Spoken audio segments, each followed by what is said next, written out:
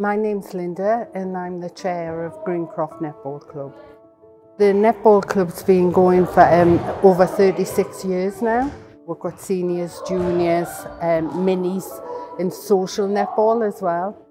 We set up because there was no netball at the time in, um, in Stanley. People wanted to play competitively and um, so we started up with a team, one, uh, two teams, and then we've worked our way up to about 11 teams now. So we do from age five up to, there's no age limit. We've got people well into their 60s come to the social netball.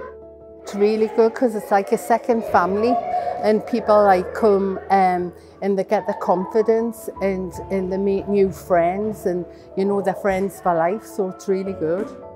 We do netball at all levels so we'll like start them off with different people looking after them um, like junior coaches looking after them and, and just doing it gently and then um, if they want to progress then we'll get them into like a, a, a different team or a, a higher level.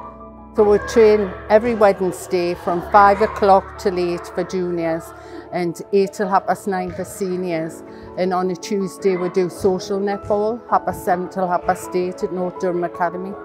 There is a social side of it, and um, go out for meals, they go away for weekends. Uh, uh, the club's been away to uh, Liverpool to see um, the netball competitions and that um, on a bus, and it, it's just really good.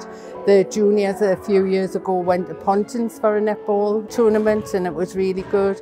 It gives them a lot of confidence and it gives them um, a lot of experience for when they go into the senior clubs. And um, for the seniors themselves it like it gets them back into playing a sport at their own level.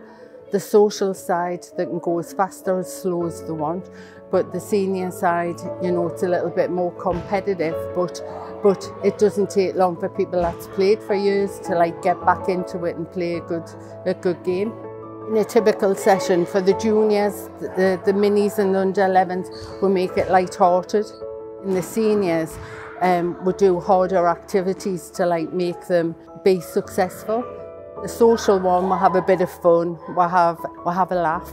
We're always looking for new members just to make sure, you know, people, if they want to join, we welcome them in.